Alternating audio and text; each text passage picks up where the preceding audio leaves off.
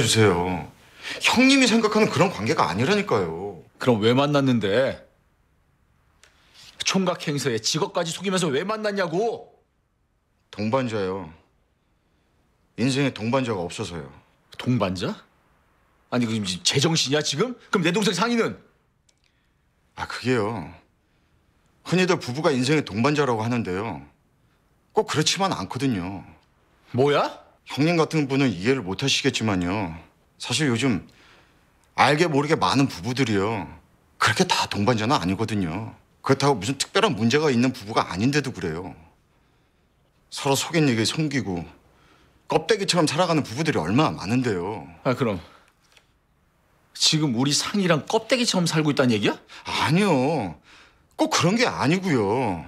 인생의 동반자라는 게요. 살면서 이런저런 인생에 대해서 같이 논할 수는 있어야 되잖아요. 그게 부부면 금상첨화고요. 근데 꼭 부부가 아니어도 되고 아닐 수도 있다. 뭐 그런 말이죠. 이성 친구일 수도 있고 동성 친구일 수도 있고요. 아, 소울메이트요. 가정에 충실해. 소울메이트건 동반자건 그런 건 모두 다 가정 안에서 만들어 나가는 거야. 그럼 형님은 예지랑 미래 우리 집사람이 인생의 동반자입니까?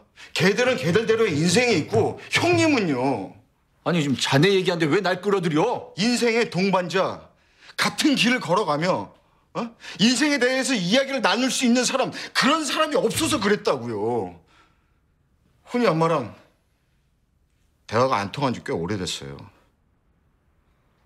아니 지금 지금 잘했다는 거야 지금? 잘못했다고요 う